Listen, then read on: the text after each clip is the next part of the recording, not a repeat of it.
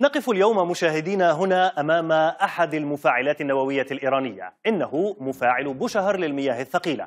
هذا المفاعل النووي هو أول مفاعل أنشئ في إيران ويقع على بعد 17 كيلومترا جنوب شرق مدينة بوشهر على ساحل الخليج العربي. دعونا نقترب أكثر من هذه المنطقة الخطرة ونتعرف أكثر على هذا المفاعل. بدأ العمل في هذا المفاعل في العام 1974 إبان حكم الشاه بمساعدة ألمانية. لكن بعد الثورة الإيرانية في عام 79 توقف المشروع وانسحبت الشركة الألمانية. ثم جاء الروس واستؤنف البناء في المحطة عام 95 حيث كان من المقرر أن يدخل الخدمة في العام 1999 إلا أن مشاكل تقنية ومالية وسياسية أدت إلى تأخير ذلك لأكثر من عشر سنوات ليفتتح رسميا في سبتمبر 2011 المفاعل يوفر قرابة 10% من استهلاك إيران من الطاقة الكهربائية. بداية هذا المبنى الدائري هو مفاعل القدرة المائي VVER أحد أنواع مفاعلات الماء المضغوط وتم تطويره من قبل الاتحاد السوفيتي سابقا وتبلغ قدرته الإنتاجية نحو 1000 ميجاوات.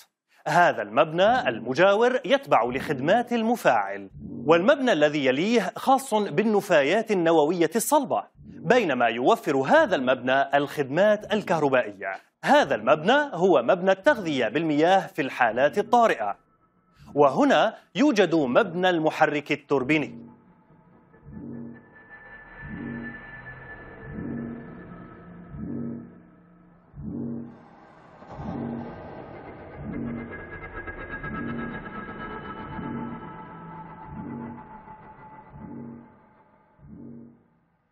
مفاعل بوشهر مشاهدين كحال أي مفاعل في العالم يمثل خطرا ولا يمكن ضمان وقوع حوادث أو تسرب إشعاعي خاصة مع قدم مرافق المفاعل وغياب الصيانة الدورية فضلا عن شكوك بشأن معايير السلامة مفاعل بوشهر شهد أزمات وحوادث تزيد من مخاطره. ففي ديسمبر 2012 سقطت أجزاء من وعاء المفاعل.